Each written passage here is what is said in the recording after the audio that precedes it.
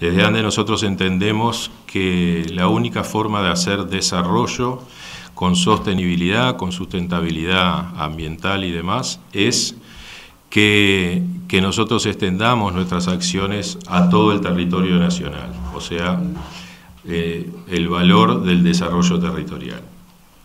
El, eh, el, concurso que nosotros lanzamos en conjunto con, con OPP en el 2016 eh, es un concurso para proyectos de competitividad en todo el territorio este, se presentaron 15 eh, proyectos, de esos 15 proyectos se seleccionaron 8, de los cuales 7 son del interior del país. Este programa de, proyectos de competitividad terminó involucrando entre los ganadores a 22 organismos públicos, a 18 empresas, a 18 instituciones sociales, a 9 gremiales de, privados y a ocho instituciones educativas. Para nosotros, digo estos números porque para nosotros que somos una organización muy nueva, esto significa realmente un orgullo y un primer logro en este tema de, de, extender el desarrollo por todo el país.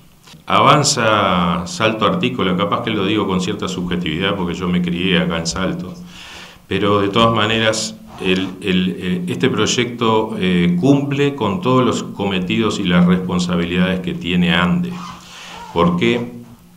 Porque sin duda es un proyecto ejemplo de asociatividad e integración. ¿sí?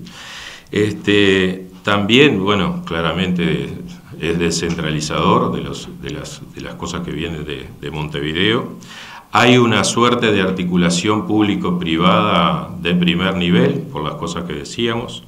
Este, está muy vinculado con el desarrollo sustentable, el cuidado del medio ambiente, una alimentación sana, en fin. Y este, sin duda está dirigido muy especialmente, tiene foco, como es en ANDE, en los pequeños productores, en las pymes.